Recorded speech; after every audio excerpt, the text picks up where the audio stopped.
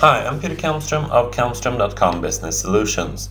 In this demonstration, I'm going to go through the Safe as Bolts exercise, where the goal is to fill in all the formulas, and these are only summaries, so it uh, should be rather straightforward. I'm just going to summarize each and every one, and then we're going to do a summary down here of all the budgets. We have screws, bolts, tools, and nails.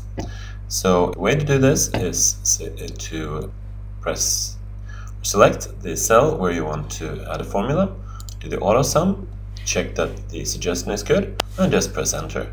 And then you can actually just fill down, because this is all the same formula. So it's summarizing the four cells to the left of the current cell. So that's why I can just fill down like that. Same thing here, all departments, auto sum, press enter, and then I'm summarizing all the cells above B7 to B, B11, if I select that, those are the four cells starting five cells up, right? So I can fill that out. So rather straightforward, auto sum, enter, and fill down, auto sum, enter, and fill to the right. And if you want to do it even quicker, you can do the auto sum, enter. Ah, that's totals. See that one coming? So let's just put that as a number. You can do that on all of these. $700 there, and then I just paint that format and do that all over there. And now when I double click this, it sticks. I if I click it once, then I select the format, for lose it after just changing the format of one cell. But if I double click it, now it's going to stick. So let's see, I'm going to double click that. And now you see I can paint this all over the place. All the place where I want the same kind of formula to, the same kind of format to work. So that's done. Excellent. Now I can just click it away. So again, let's do this. And I'm filling down. Here, I'm doing the auto sum there. Pressing enter and then filling out to the right.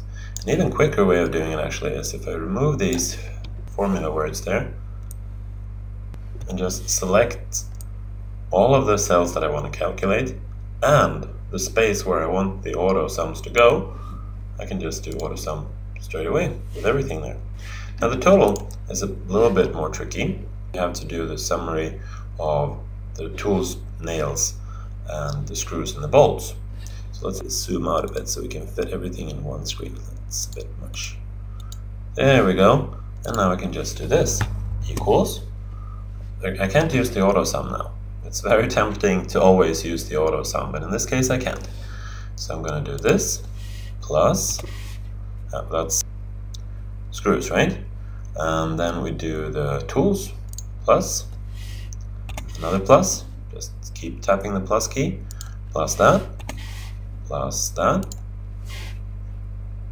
And there you go, 549. Let's do check if it's correct. 250 plus 100 is 350 plus another 450. Yeah, 549. So it did the math right. Now you're foreseeing a bunch of rather boring clicks here, but you can actually fill this out since it has the same format. I can fill this out to the right, and it's going to do the the uh, same calculations there. So let's check that if it does the right thing, and yes, it does. And now I can just um, fill down, escape out of that edit mode there. And now I can just select all of these and fill all the way down. Remember that little fill handle at the right? I'll just fill that all the way down. And this row, I don't need the summaries there. And let's just check that this one is doing the right thing. And yes, it is indeed. So here we're doing a lot of calculations. And I think that concludes this demo. Thank you for watching.